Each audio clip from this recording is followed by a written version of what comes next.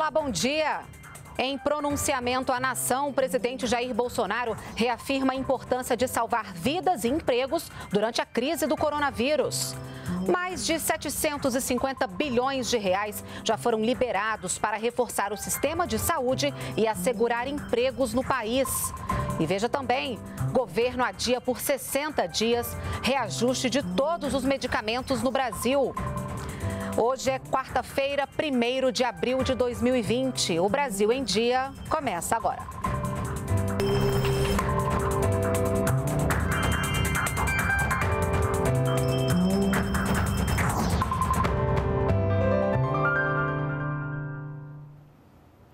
São 9 horas e 45 minutos. Nós estamos ao vivo também pelas redes sociais. Em pronunciamento nesta terça-feira, o presidente Jair Bolsonaro apresentou as iniciativas do governo para enfrentar a crise do coronavírus. Bolsonaro também destacou a importância de salvar vidas e empregos durante a pandemia. No pronunciamento, o presidente Jair Bolsonaro destacou que o governo reúne todos os esforços para salvar vidas e empregos. Ele reforçou ações que vêm sendo tomadas na saúde e na economia, como o auxílio mensal de 600 reais para os trabalhadores informais e os mais vulneráveis. Temos uma missão: salvar vidas sem deixar para trás os empregos. Por um lado, temos que ter cautela e precaução com todos principalmente junto aos mais idosos e portadores de doenças pré-existentes. Por outro, temos que combater o desemprego, que cresce rapidamente, em especial entre os mais pobres.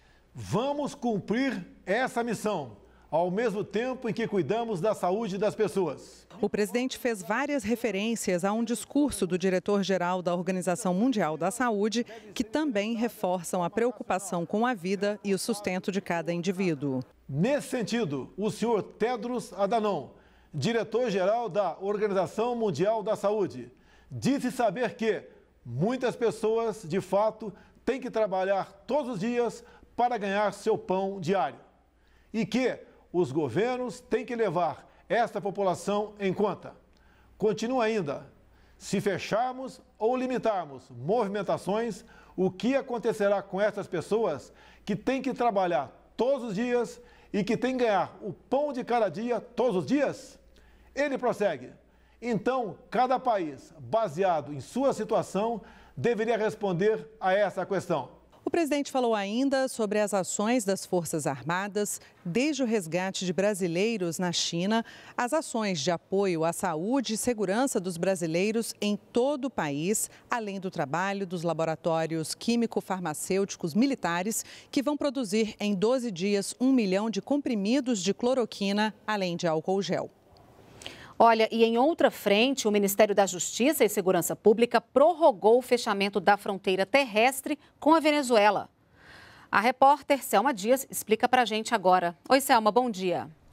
Oi, Renata, bom dia para você, para todo mundo. Olha, a fronteira do Brasil com a Venezuela está parcialmente fechada desde o dia 18 e deve permanecer assim pelos próximos 30 dias para impedir a disseminação do novo coronavírus e também por conta das dificuldades do sistema de saúde em receber e atender aí estrangeiros infectados. Tem algumas exceções. O tráfego entre os dois países continua liberado para o transporte rodoviário de cargas e para a execução de ações humanitárias autorizadas.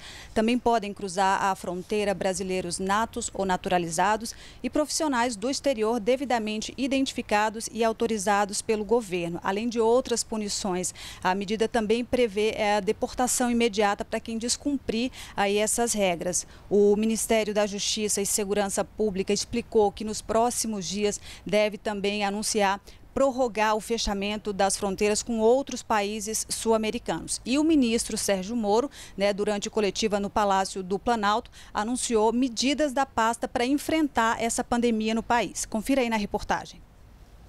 O ministro Sérgio Moro afirmou que a vacina contra a gripe em agentes penitenciários e presos deve ser antecipada.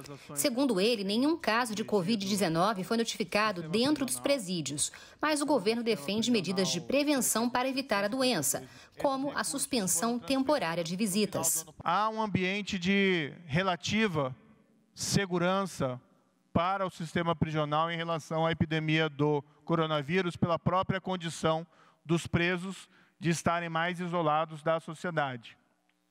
Por isso, daí a necessidade de medidas que evitem né, risco de contaminação dos presos como a própria suspensão de visitas. Além disso, homens da Força Nacional de Segurança Pública vão passar a atuar em apoio ao Ministério da Saúde. Eles podem trabalhar, por exemplo, na segurança nos centros de saúde.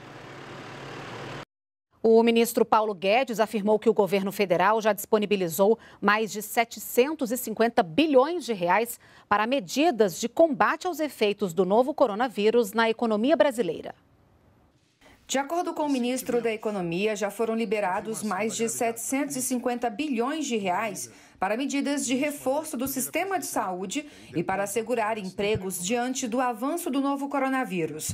Segundo Guedes, o chamado orçamento de guerra já chegou a 2,6% do PIB. Estão nesta conta recursos para pagar o auxílio de 600 reais para os trabalhadores informais, antecipar o pagamento do 13º salário de aposentados e pensionistas, a inclusão de 1 milhão e 200 mil beneficiários do Bolsa Família recursos para estados e municípios, crédito para capital de giro para as empresas e financiamento da folha salarial para pequenas e médias empresas e compensação salarial. A instrução do presidente foi clara: não vai ficar nenhum brasileiro para trás. Não vamos deixar nenhum brasileiro para trás. Todos os recursos necessários para a defesa da saúde do povo brasileiro e dos empregos dos brasileiros serão mobilizados. O ministro Paulo Guedes explicou ainda que o decreto de estado de calamidade pública ajuda a descentralizar os recursos para estados e municípios. Ele também destacou que o governo conta com o apoio do Judiciário e do Congresso Nacional para que o dinheiro chegue mais rápido a quem precisa. Estamos gastando bem mais do que qualquer país da América Latina, estamos muito à frente de qualquer país da América Latina. Do ponto de vista de apoio que estamos dando com essa renda básica de 600 é, 600 reais que nós estamos dando, comparado à nossa renda per capita, é igual à ajuda que os americanos estão dando? O Ministério da Saúde quer saber qual parcela da população faz parte do grupo de risco, quem teve contato com infectados pelo coronavírus ou esteve fora do país. Vamos ao Rio de Janeiro. Igor Santos conta pra gente agora os detalhes. Oi, Igor, bom dia. Bom dia, Renata. O Ministério da Saúde começa uma nova estratégia para identificar casos suspeitos e tentar mapear a propagação do coronavírus em todo o país. Vai funcionar da seguinte forma: uma central robótica vai disparar ligações para 120 milhões de brasileiros. E a partir dessas respostas, o Ministério vai saber, por exemplo, quem faz parte de grupo de risco ou teve contato com algum infectado. O anúncio do uso dessa tecnologia foi feito pelo ministro Luiz Henrique Mandetta. E, entre outras novidades, também foi divulgado o adiamento do reajuste dos remédios. Vamos ver na reportagem. Um acordo entre a indústria farmacêutica e o governo prevê o congelamento dos preços de todos os medicamentos nos próximos 60 dias. O aumento que estava previsto, é previsto por lei para os remédios, ele ficou suspenso por 60 dias daqui a 60 dias será reavaliado novamente. A decisão faz parte das medidas de enfrentamento à crise gerada pelo coronavírus. Até agora, 18 unidades da federação registraram mortes pela Covid-19. Em todo o país, são 5.717 casos e 201 pessoas morreram pela doença. São Paulo segue com o maior número de casos e de óbitos, seguido por Rio de Janeiro, Ceará, Distrito Federal e Rio Grande do Sul. O ministro da Saúde, Luiz Henrique Mandetta, disse que o desafio agora é garantir equipamentos de proteção individual para os profissionais da saúde, para evitar que eles também sejam contaminados pelo coronavírus. Para isso, o governo brasileiro comprou equipamentos chineses. Se nós não tivermos EPIs para os nossos recursos humanos, enfermeiros, médicos, todos que estão na linha de frente, nós, se acelerássemos qualquer coisa e aumentássemos o número de casos, imediatamente perderíamos a força de trabalho. Então, isso é um elemento que a gente chama elemento de barreira. O ministro também destacou avanços em um estudo sobre a cloroquina. A medicação reduziria o tempo de internação no CTI. O primeiro trabalho sobre cloroquina compilado deve ser publicado em revista científica nas próximas 40 horas, 48 horas. Que basicamente mostra que houve uma redução no tempo médio de permanência na CTI, naqueles pacientes que usaram, independente da associação com qual antibiótico. É um primeiro passo, é um primeiro paper que vem e que ajuda a gente na conta que a gente tem que fazer de quantos leitos de CTI que a gente precisa. Olha, e cerca de 14 toneladas de equipamentos de proteção individual, álcool em gel e medicamentos chegaram nesta terça-feira à base aérea de São Paulo.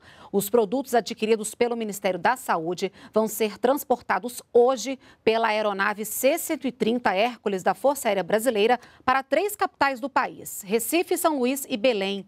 O material vai ser utilizado por profissionais de saúde em atendimentos dos pacientes infectados pelo novo coronavírus. Doação de sangue e desinfecção de hospitais públicos. Essas são algumas das ações do Exército no enfrentamento à Covid-19. Os militares chegaram cedo ao Hemocentro de Brasília. Desta vez foram 15 homens do batalhão da Guarda Presidencial. As Forças Armadas já fazem esse movimento de doação de sangue ao longo de todo o ano, mas agora foi intensificado por causa da pandemia do novo coronavírus. É que os estoques de sangue baixaram muito com as medidas de isolamento social e a demanda por sangue não para. Essa campanha irá seguir sempre com um grupo de 15 militares fazendo a sua doação, de modo a que permita ao banco de sangue manter os seus níveis em condições de atender às suas necessidades e às suas demandas. A doação de sangue pode ocorrer em qualquer hemocentro do país. Pessoas com idade entre 16 e 69 anos podem doar. Para os menores de idade, é necessário o consentimento dos responsáveis. E também nesta terça-feira, reforçando as medidas de proteção contra o novo coronavírus, o Exército fez a desinfecção do Hospital Regional da Asa Norte, o Agarram, referência no tratamento da Covid-19 no Distrito Federal. Devidamente protegidos, eles usaram o produto específico e também ensinaram o procedimento aos profissionais que trabalham no local. A gente só tem a agradecer o nosso Exército Brasileiro por essa ação cívico-social, por essa solidariedade nesse momento em que a gente está passando por essa pandemia. E a Defesa Civil Nacional já enviou quase 70 milhões de mensagens de celular sobre o coronavírus. São alertas como fique em casa.